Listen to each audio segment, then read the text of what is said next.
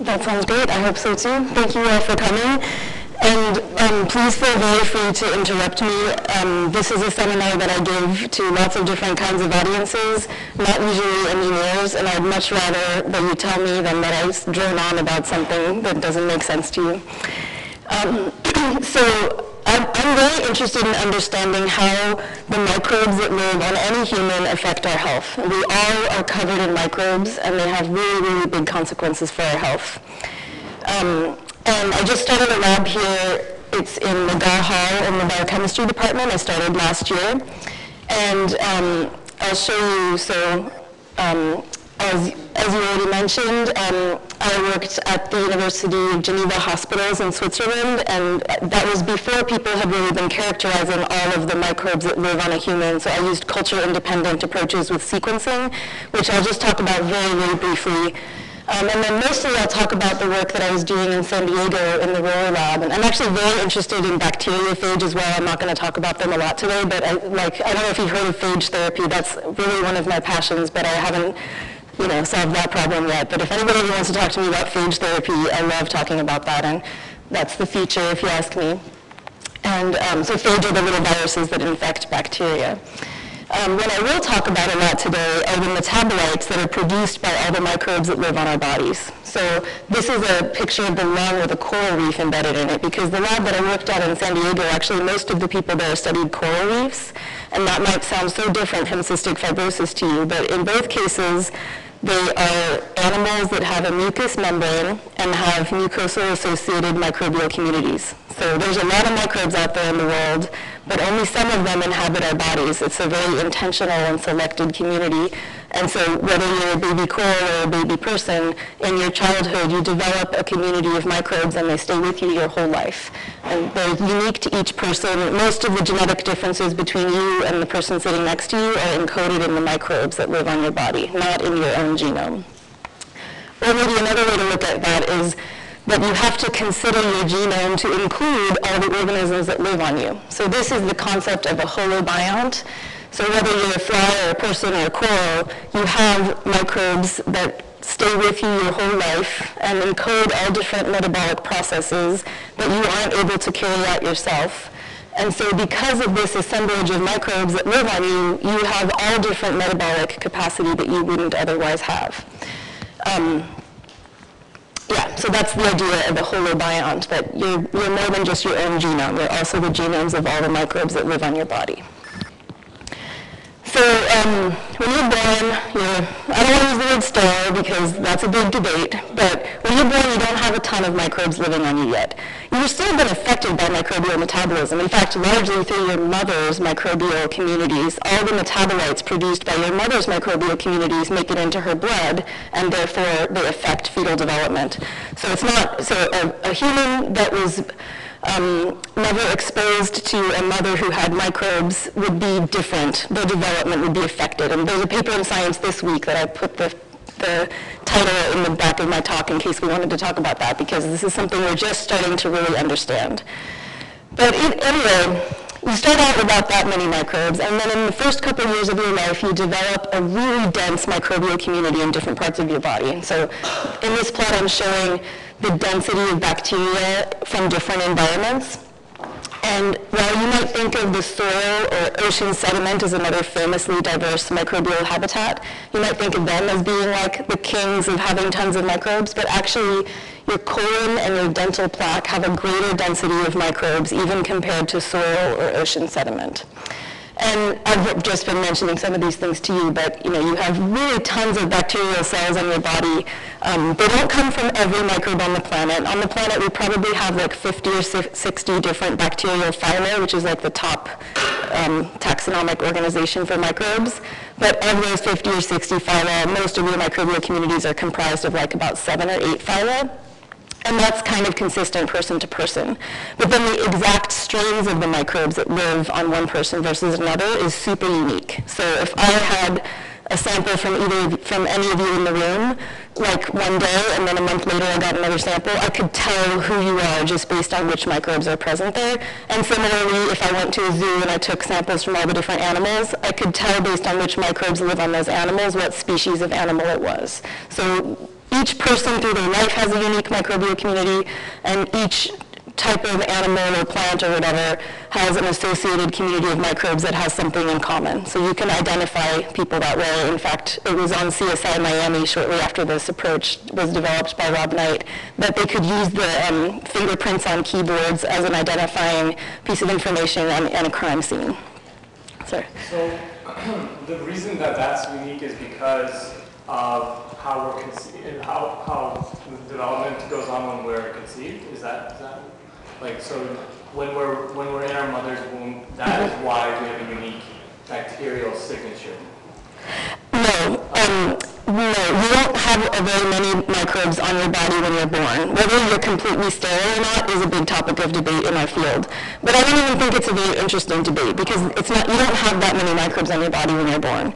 But then, um, the exposures that happen as soon as you're born. So like right now there's research into whether vaginal birth versus C-section affects your lifelong microbial community. Certainly whether you're breastfed or not and like what food, what food and microbes you're exposed to in the first year of your life and then also your own genetics and like both a combination of like permanent things that are true about your immune system that are encoded by your genes, and then like stochastic processes that happen during immune development. So a combination of your immune system shaping you and the random exposures you have in your life lead you to develop a certain kind of microbial community.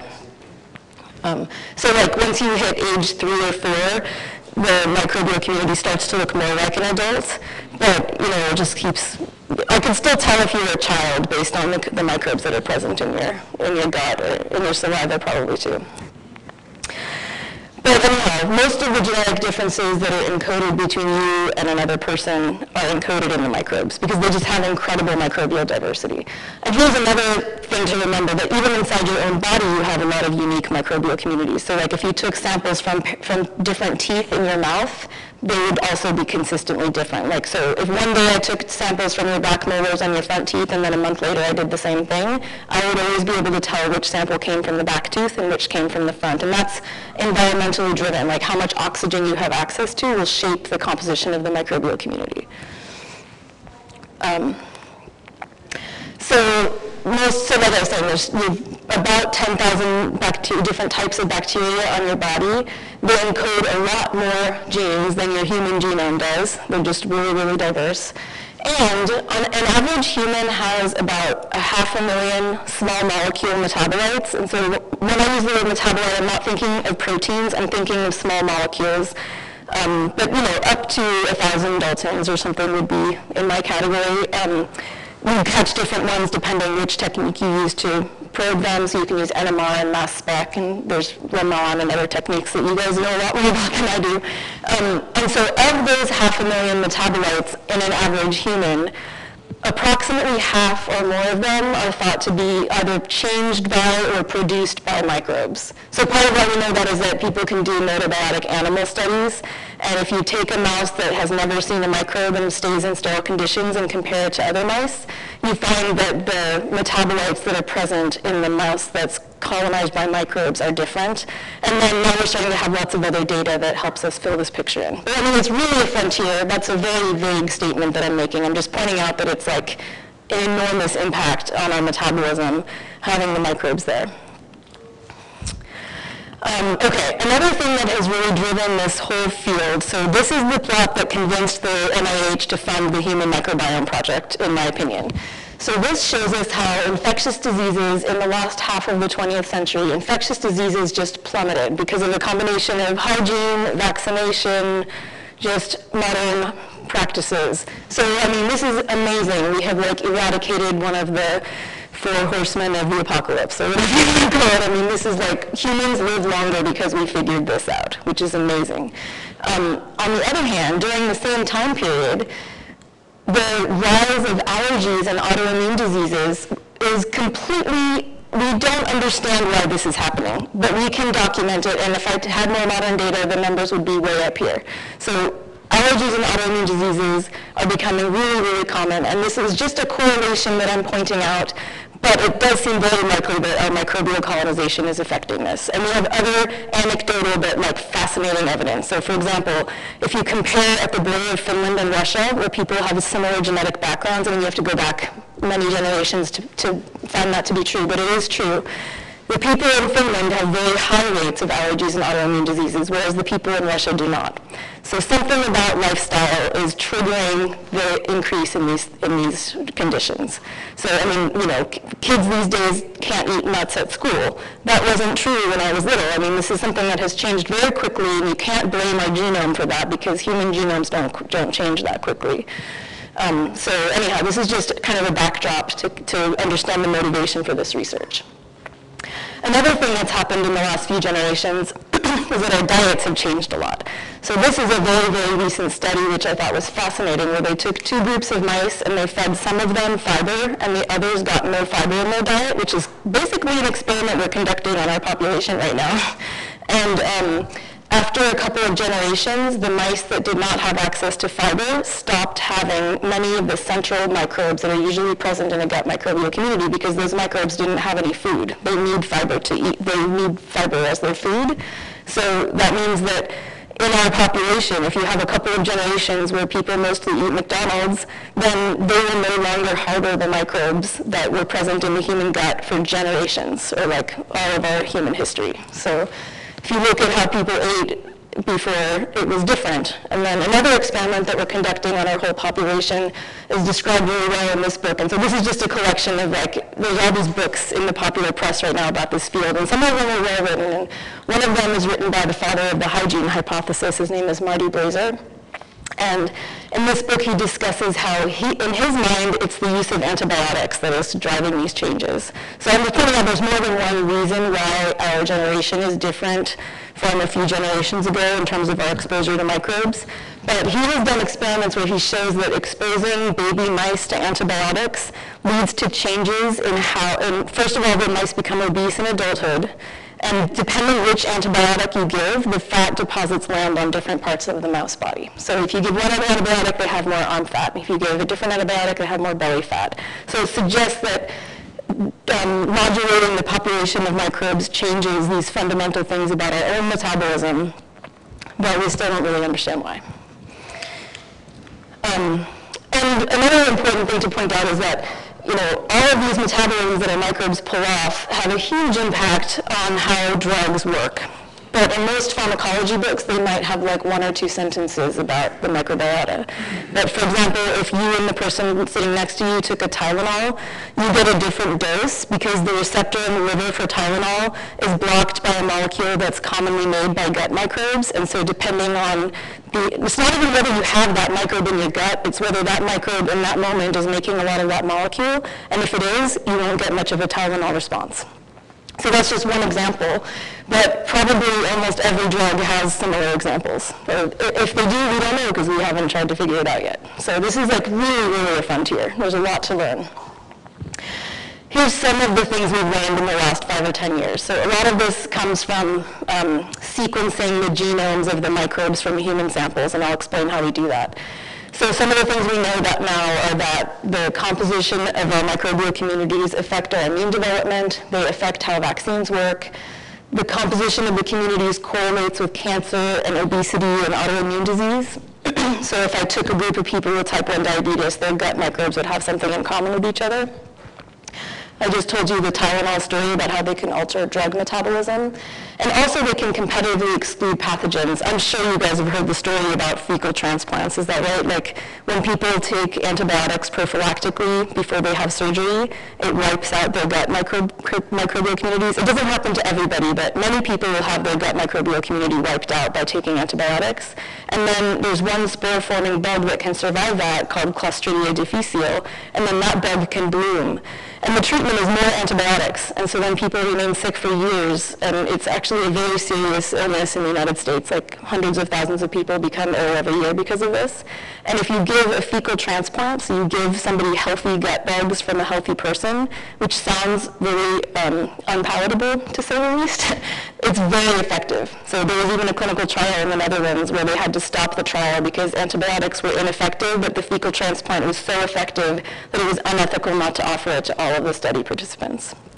So that's probably the most um, straightforward success story out of all this research right now, because that one we really, we really know it works.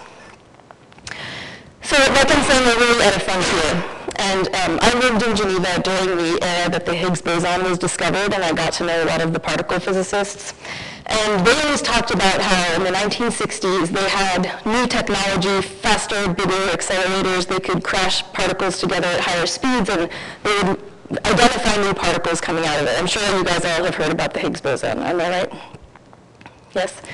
So anyway, in the 1960s, they just gave their particles names, and they called the, that era the particle zoo because they didn't understand the relationship between the particles. It wasn't until the 1980s that they could really develop a model where they understood the relationship between the particles. And that's kind of where we are in our field right now too. So far we've just been using all these big omics approaches to go out and catalog everything that's out there and then try to like make sense of the data using correlations. But we don't really have a model that helps us understand how things fit together. So this, I hope, is going to be the next era of our field is that we can build a model where we're like, oh, if you're a baby, you need this and this and this and this bug, and then your immune system will develop this way, and you avoid the development of autoimmune diseases. Like, in my mind, that's the next, if there's a 20-year goal for, goal for our field, it's something like that. Um, okay, so host-associated polymicrobial communities are powerful indicators of health and disease. So I would describe this as like the hypothesis underlying all the different projects that I'm starting up in my new lab right now. So we have projects related to cystic fibrosis patients, um, patients that have inflammatory bowel disease, um, healthy babies, just like how does a healthy baby develop. We have lots of different types of projects going, but this is what unites all of them, is that we want to understand um, what it means to be healthy and what does it look like when a person is developing a disease and how can we use the microbial metabolism as an indicator of those things.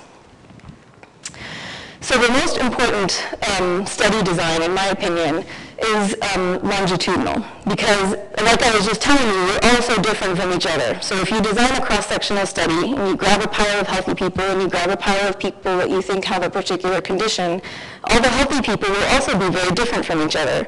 So then you can't really say what made that person develop that disease. It's just going to be um, an observation of how different all people are from each other. However, if you do longitudinal sampling, then you take people who had the same childhood and the same microbial community assembly in their childhood, and then you watch how things happen to them. So in my cystic fibrosis projects that I'll tell you a little bit about, that's the idea. So we take people when they feel well, and we sample and look at their microbial communities and the metabolites that are present in their samples, and then we look and see how that changes when they feel bad. Or if their treatment works, we look to see how it changes in that moment. So this is kind of like one approach you could use. In general, you try to take longitudinal sample, samples, you use as unbiased an approach as possible to study their microbes and their metabolites, and then you look for what's different in the moment when they feel horrible compared to when they feel well, and see if you can understand something about the mechanism that's causing their symptoms. Um, okay, so here's some of the approaches that we use. We can sequence the DNA from the microbial community. So we call that a metagenome, and that's because it's not just one genome, it's the community of all the genomes. So it's a metagenome. From that, we can learn which genes are there and what they could be doing. It doesn't tell us if they're active or not. So metagenomics is not really functional information. It doesn't tell you whether or not those genes are even doing anything. It just tells you that the bacteria thought they were important enough that through the generations they held on to that gene. You can look at the RNA and the proteomes and then all the way down to the metabolites. And in each case, you get closer to the active chemistry on the ground. So when you're looking at all the different metabolites that are there, you're capturing the active enzymes. You're not, you can't tell, if something is very abundant, you can't tell whether it was produced at a higher rate or just consumed at a lower rate. But if you look through time and you see changes, you do know that something about that metabolism is important in that moment. Um, okay. Time in years, 10 years, or just a few months? Yeah, more like, um, more like surrounding an event. So, um, for example, with the cystic fibrosis work, if I can get a sample before a patient starts taking antibiotics, and then again after they, they've stopped taking antibiotics, that would be a really good design.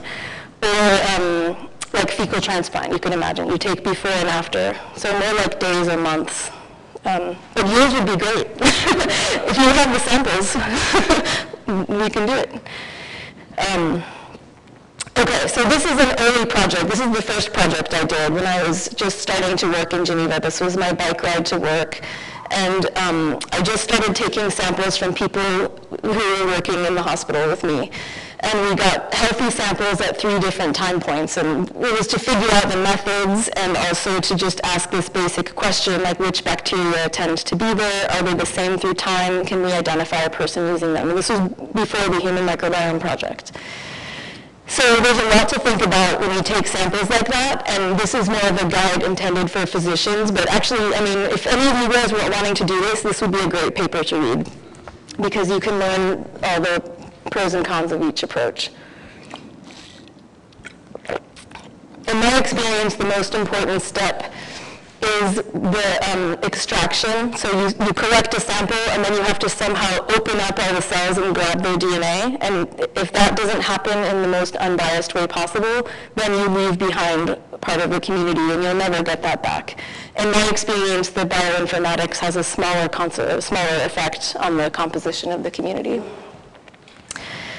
Okay, so, um, so from this, we um, grab a bunch of uh, genes that are universally present in every bacteria. So it's a taxonomic gene. This is the most common approach in any microbial community composition. This is what the Human Microbiome Project and the Earth Microbiome Project right now are doing.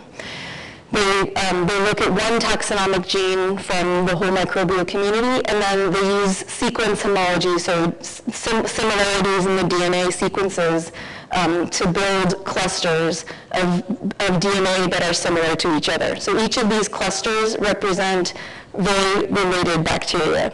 And we actually just call them operational taxonomic units. We can't identify anything about which, we can't say for sure that they're the same bacterial species. We're not growing the bacteria, we're just extracting their DNA from the sample. So from these clusters based on DNA sequence homology, then we can build an abundance matrix that has the different bacterial clusters and then the samples that they came from. And then we use all different multivariate analysis approaches to compare the samples to each other. So the ecologists have a whole set of vocabulary. This could be lions and tigers and bears or something, and they've, they have decades of experience with that kind of statistics. And then actually the metabolomics crowd, they have a whole different set of vocabulary for this type of multivariate analysis, and I've been drawing from both because I've been using both approaches. So that's another thing, I, I love talking about the best way to analyze this data, and I've had a lot of fun like learning machine algorithm, machine learning algorithms and, and stuff like that to, to pull the best information out of these kinds of data sets. So here's a tree where I'm showing you each of these, each of the branches on these trees um, are one sample. These are actually the dates that the samples were taken, and the color tells you the person that the sample came from. So the most um, dramatic conclusion out of this data set, which had three time points from five people, is that the samples from the same people always cluster together. So that means that the types of microbes living in each person are quite similar to each other. okay, so that was my example of healthy people. Now I'll talk about cystic fibrosis. Um, so cystic fibrosis is a common inherited disorder among Caucasian people.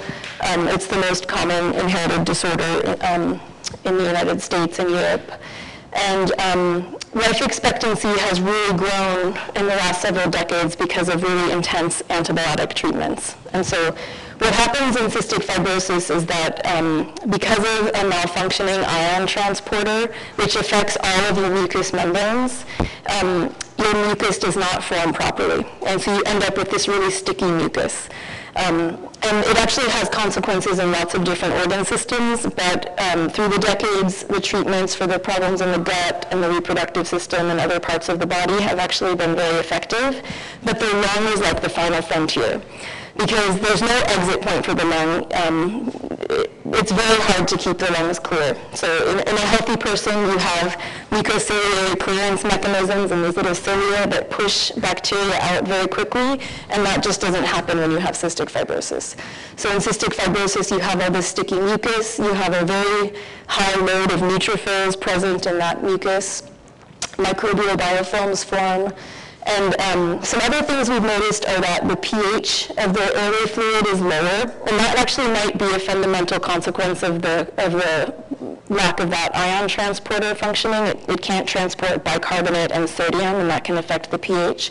But pH is one of the most important things driving microbial uh, metabolism, uh, microbial community composition. Some microbes hate different pHs, and so they just won't grow there. So this could be something that's really important for shaping the community.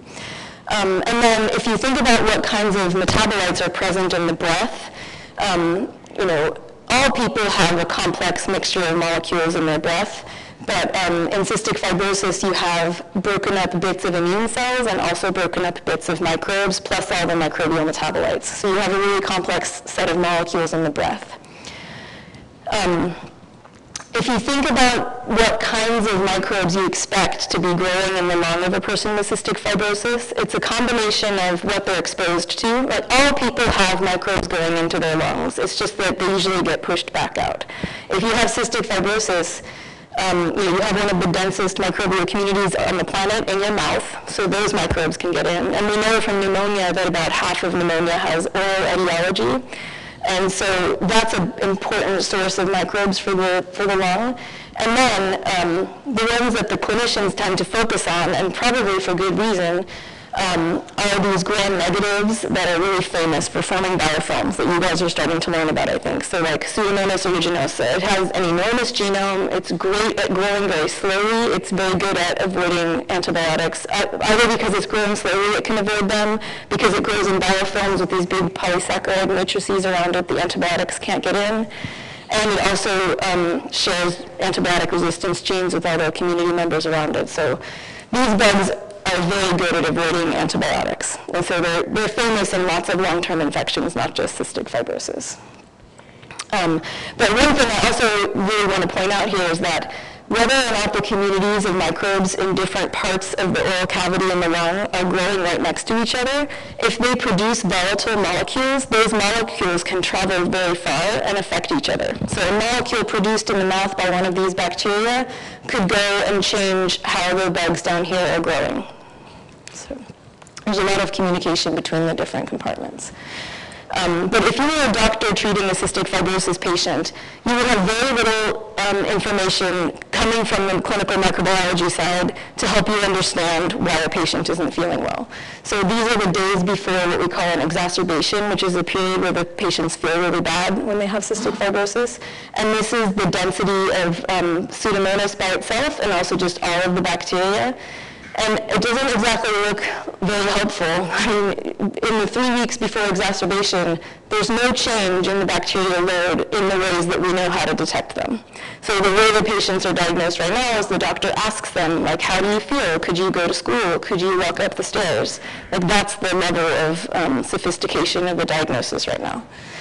Um, but it's not a new idea to try to use metabolites to probe um, health or even microbial activity. So this is a really, in my opinion, a really awesome study from 1971 that Linus Pauling led.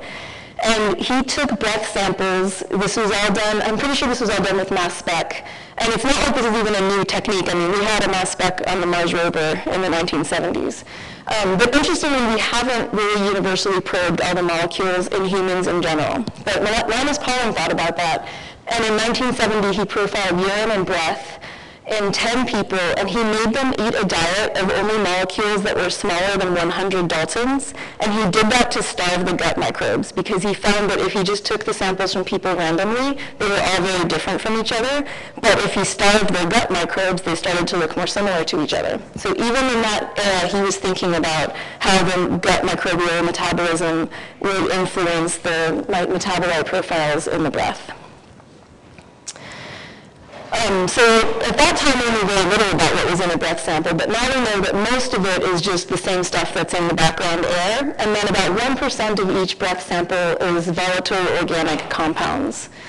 And so after I st- first started working with cystic fibrosis community, uh, microbial community samples, and I could see that there wasn't really much difference through time just looking at the DNA from the microbes, I thought if we could look at the metabolites, maybe we'd find something. So I went to Don Blake here at UC Irvine in the chemistry department, And um, we made a plan to take replicate samples from cystic fibrosis patients with the hope that we would find a molecule that was more abundant in CF compared to a healthy person or a background room sample. And the background room sample is really important. When Don Blake first started doing these kinds of breath studies, he found that even a 15-minute time difference when you're taking samples over at the UCI Medical Center in Orange, if the wind changed and the um, pollution from the freeway got blown in a different direction, you would start thinking that something that was actually from the freeway pollution was an important biomarker in your study. so, so it's important to have a good background sample.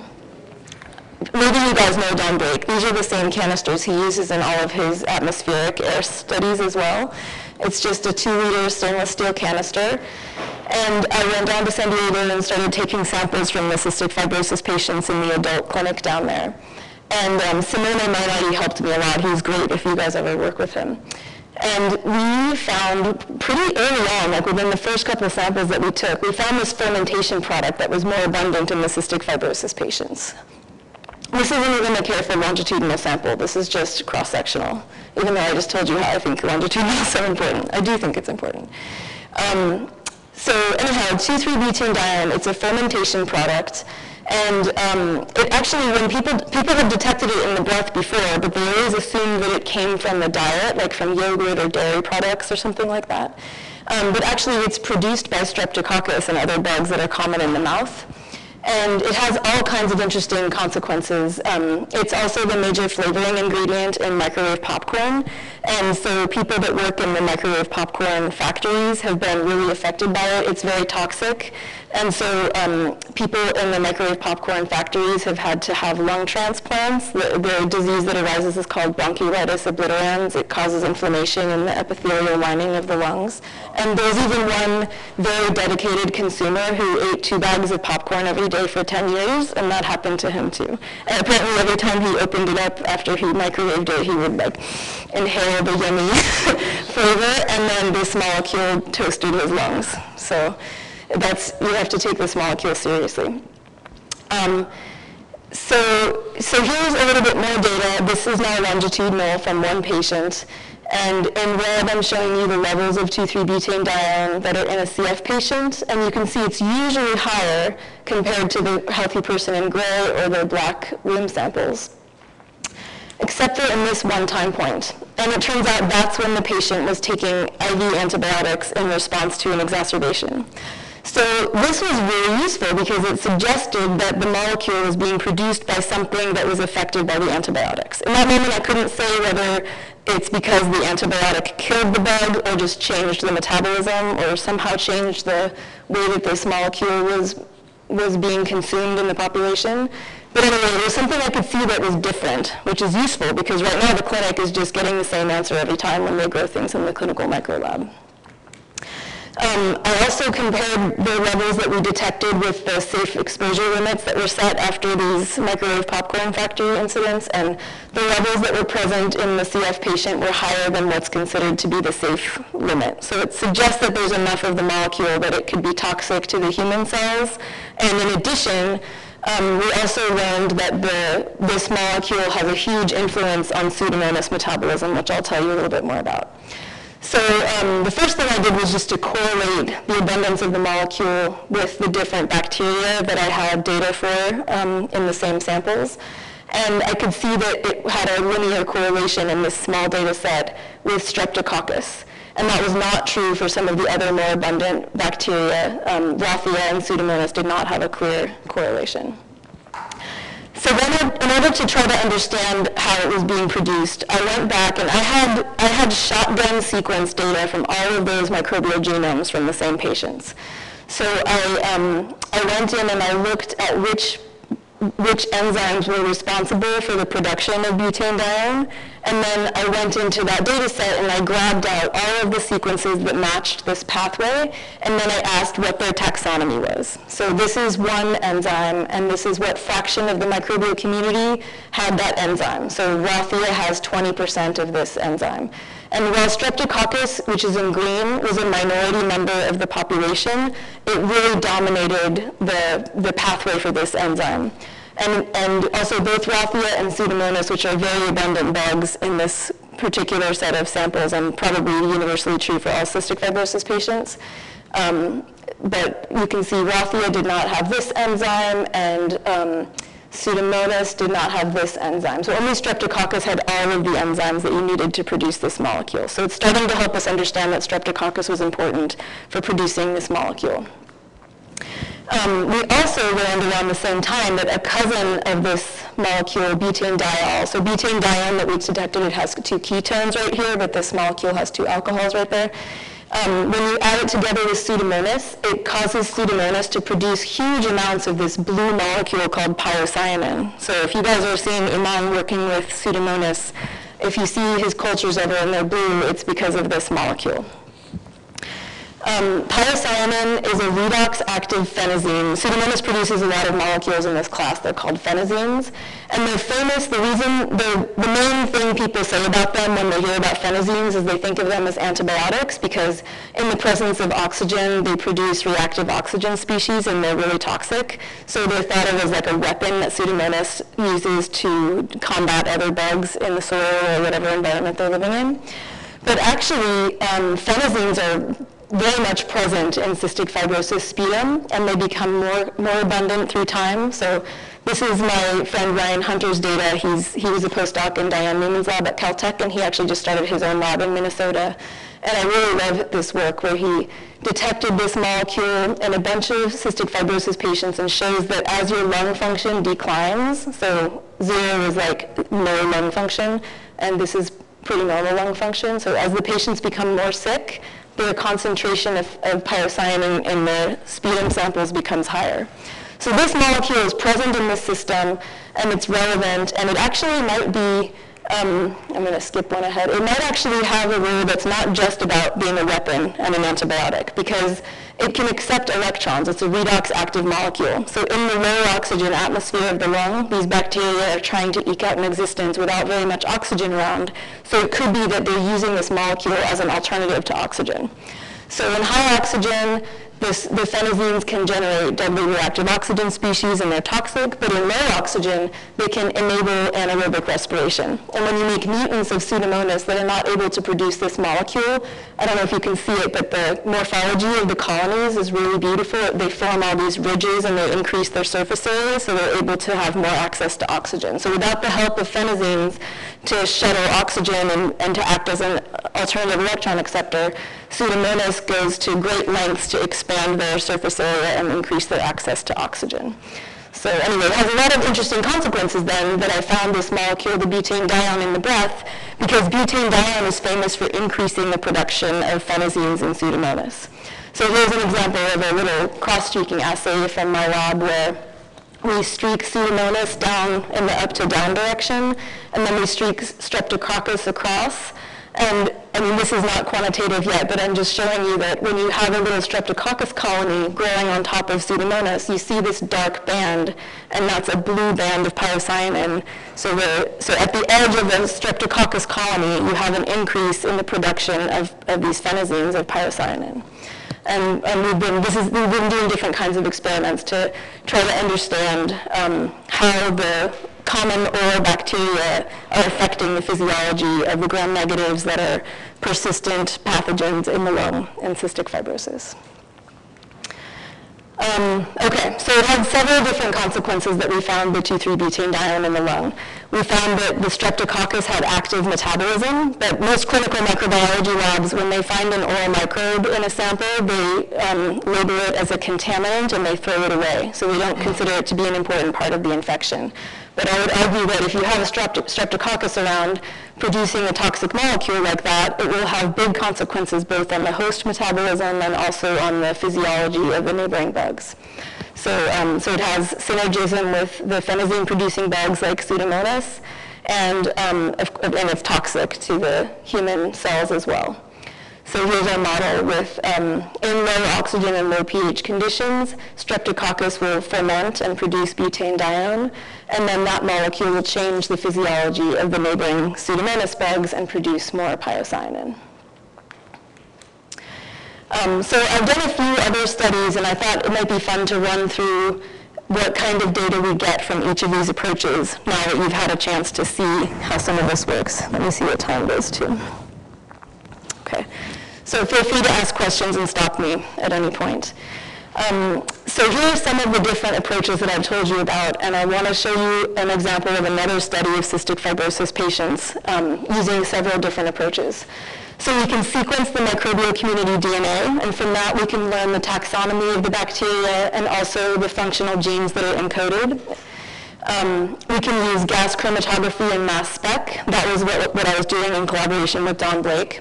And from that, we can learn about the presence of small volatile molecules, usually less than 200 Daltons.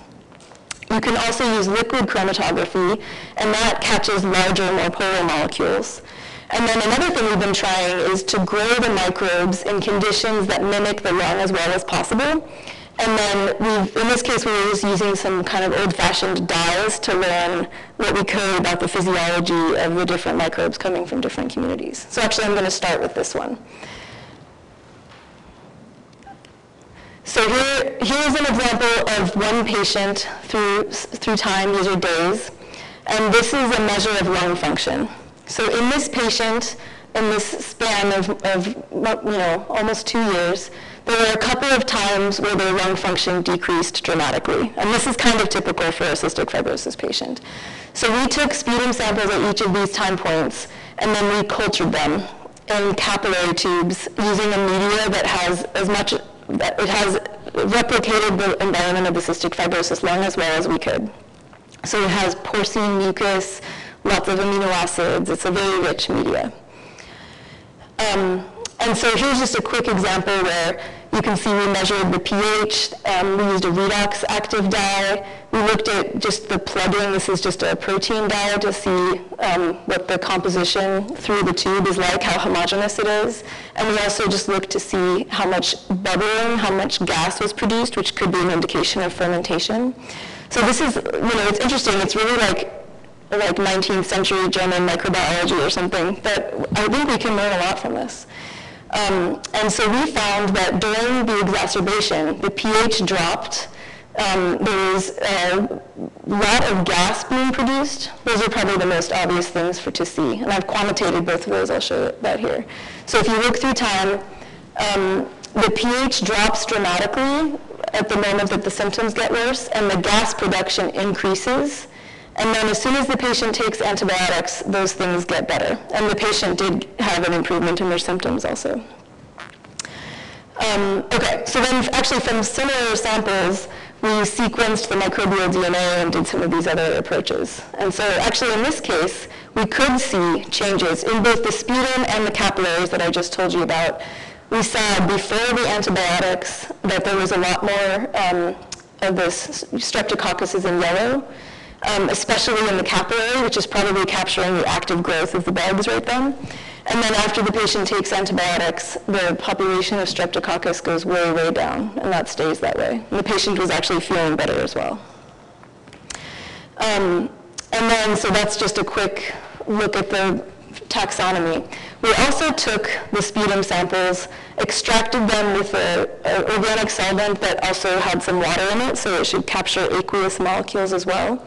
And then we did GCMS profiling. And this is um, an MDS plot. So this is an example of the multivariate analysis that I was telling you guys about. And in blue are the exacerbation samples, and in red are the baseline samples. And when a plot, when, a, when two points on this plot are closer together, it tells you that the abundance of the metabolites is more similar. So points that are closer together on this plot have more similar meta metabolic um, compositions. So you can see in here that the blue samples are closer to each other, suggesting that the exacerbation metabolite profiles are similar to each other. Um, and then I used a random forest to pick out what some of the more important metabolites were that were important for separating the exacerbation samples from the baseline samples. And you can see um, some of these molecules, like 2,3-butanediol, that's the alcohol cousin of the molecule that I detected in the breath. Um, and some other fermentation products were some of the more important molecules for distinguishing exacerbation samples from baseline samples. Um, And so here's a, just a very simple look at that same data. So uh, these are days going across, and here's four of the molecules of interest. As you can see, even with gas chromatography, which has been around for decades, many of the molecules, many of the ions that we identify in the mass spec are not identifiable. And it's actually better in GC than it is in LC. In LC, maybe 99 to 95% of your molecules cannot be identified. But um, in GC, it's a little bit better than that. This data set had maybe two or 300 molecules that I knew what they were, and then another couple hundred that are just like X238, because it's the same ion in each sample. I know it's the same molecule, but I don't know what it is. Um, and so here looking through time, when I have two stars here, that's showing an exacerbation before the patient started taking antibiotics. And then these, this is a less severe exacerbation where the patient took oral antibiotics instead of IV antibiotics. And you can see in both cases that, um, in both exacerbations, that the levels of this fermentation product, the 2,3-butane are way up. And that's true for some other fermentation products too, like lactic acid. Um, although, as you can see, this is a noisy data set, and you know, if only we could, if only we could study these molecules with much greater frequency, then we would get a much better sense of what the fluctuations are like. You know, imagine that we could measure these things in the same way that a diabetic patient measures their blood sugar, even with a continuous glucose monitor, and then you get much finer, detailed data so you could understand um, the different reasons that the molecules' abundances are changing. Um, but I think that fermentation products are promising as potential indicators of the activity of the microbial community. They tell you that you have low pH and low oxygen. Um, they might tell you how much mucus is present in the lung at that time. And they're toxic themselves, so they're an important thing to be keeping track of. So here's a more detailed view of some of these molecules. Um, in both the sputum and the capillary tubes, you can see that these molecules were much more abundant before the patient took antibiotics, and then a successful treatment led to a huge decrease in the abundance of those molecules. Um, and then when I do more global analyses to ask which molecules are increased in the exacerbation sample or decreased in the exacerbation samples, you can see there are a few that really stand out and that using different analysis approaches, I'm getting similar answers, which is also um, good to know. So the butanediol is sticking out. Um, putrescine is uh, the molecule that um, is responsible for the smell of decaying flesh, like the word putrid is similar to the word putrescine for a reason. So that's another one that we see is more abundant. And that molecule has been interesting in several of my recent data sets from other sample types as well. So some of these molecules um, it might be that if we were just looking more often, we would very often find that these molecules are indicators of different disease states. So I think it's interesting that we haven't done more of that in the medical community because mass spec is actually very easy to use. Um, okay, and then, from, then I'll show you one thing I learned from my liquid chromatography profiling. Um, in this data set, I'm showing you the correlations between the abundance of the LC molecules with the various things on the x-axis. So in this case, I'm showing you the correlations between the abundances of gas chromatography metabolites or liquid chromatography metabolites with the abundance of Rothia, which is a microbe that's present in the lung, Pseudomonas, Streptococcus, et cetera. So it's kind of interesting. You can see that the smaller, more polar molecules you detect with gas chromatography are more often highly correlated with the presence of Rothia, whereas the larger, more polar molecules, which might actually more often come from immune metabolism rather than microbial metabolism, these molecules are less often highly correlated with Rothia. While the LC molecules are actually very highly correlated with age. So as the patients are getting older and their inflammation is growing, the molecules that you detect by LC are also better correlated with the patient age. Um, oh, I had this highlighted. So, so the GC metabolites were better correlated with this very abundant microbe, Rothia, whereas the LC um, metabolites were more correlated with age and Pseudomonas. So each of these metabolites can tell us something about the conditions in the lung. And if we look at them through time and we see how they change with exposure to treatment, um, we can really learn something about the active metabolism coming from the microbes and from the human side. So this is really a frontier, as you can see. Um, I don't have enormous data sets with thousands of patients. I mean, and nobody does. Um, it's, it's an interesting moment where we're just getting a window into how these things work. Um, and as I mentioned, you know, I'm actually peripherally part of this group that has been making continuous glucose monitoring possible for parents to monitor in their kids with type 1 diabetes. and in this case, um, because we have continuous glucose monitors, we can continuously, every couple of minutes, see what the blood glucose levels are and respond to that information. It's actually a very labor-intensive way to manage a disease. But we don't have that kind of information for really any other molecule. And there's probably a lot of molecules that would be important indicators for infection or for lots of other types of diseases. And that's why I'm pointing that out to you guys because I'm sure you have the capacity to think about how to measure things. Or like in my case, this story I was just telling you, even pH is a really important thing to know. If we knew the pH of the airway fluid and we could easily detect that, that would be a huge piece of information for a cystic fibrosis patient, or actually probably for any airway disease. Knowing the, the pH of the airway fluid would really, really help. And, and then you can correlate it back to the microbial information and try to figure out why the pH is changing. Um, okay, so let's see, what time is it? But we've got, it's 12.50 on my watch. If anybody has any questions, feel free to ask. Um, so um, part of my future directions for the cystic fibrosis work is to try to understand how the fermentation products and why the fermentation products are changing through time. So I think that the fermentation products are important both because of the consequences they have on the microbial physiology and also how they can trigger inflammation in the human. Um, and so I'm actually doing some of these things right now in my new lab where looking at RNA-seq data to try to understand how different conditions affect microbial physiology. Um, so we can learn about nutrient depletion by looking at the changes in gene expression in the microbes. We can learn about which bacteria are present by shotgun sequencing all of the DNA from the microbial community.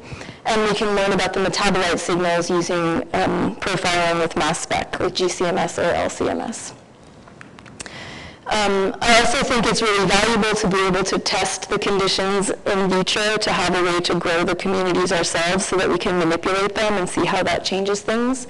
And so um, we're also developing in vitro culture systems where we can manipulate the pH and the fermentation product uh, concentration and things like that to try to see how that affects the microbial physiology. Um, and then ultimately, uh, if we could develop diagnostic tools to monitor these types of infections, I think it would have a really big consequence on how doctors would manage the, their patients. Right now, doctors have to just guess when they choose antibiotics for their different treatments. Um, in some cases, they have one hour before they're allowed. They have like literally, it's called the golden hour. You have to administer antibiotics within an hour of when the patient arrives in the hospital. So not only do these techniques have to be sensitive to something that's important, they also have to be fast. So, um, you know, right now the technique that they most often use, clinical microbiology culturing, it, it takes days, and it also doesn't really contain any useful information. So even if they were to wait for the information, it probably wouldn't change their course of action. So often the doctors just pick the antibiotic treatment based on what's worked in the past for that patient. You know, they use their own personal experience and they do their best to guess. And so it would be really wonderful if we could think of tools that would actually influence that decision. So for some patients, it would have to be inside that first hour. That's not really for cystic fibrosis. I think that's more for cases where you're worried about sepsis. In the context of cystic fibrosis, you'd need to know within a few hours um, something that would help you make this decision better. So I've been working with Regina Ragan in the chemical engineering department here because she can design these surfaces, and in theory that could become something that could be fast. So we could, if we could detect some of these metabolites, and some of them are Raman active, then we could attach them to an iPhone in theory and be able to quickly tell how the abundances of these molecules are changing. Um, another direction to take this would be to give doctors sequence data from microbial community sequencing more quickly. So this is an example of a display that um, a student I was working with in San Diego um, was, was thinking about like what would, if, you know, when we get our microbial sequence data back, honestly it takes us a year to analyze and publish that data. That's not useful to the doctors. So we would like to be able to give them useful information, hopefully within about a day. Um, and I've also been working with a company called Metabolomx, where um, they have these little chips that have about 100 different spots of dye. And again, it's kind of 19th century German microbiology. These are colorimetric dyes that change in response to contact with volatile molecules. And the color change indicates what kinds of volatiles are present in the sample. And it's actually very specific. You can detect strain differences using this approach between different microbes in an infection. Okay, so thank you guys very much for listening. And if you guys.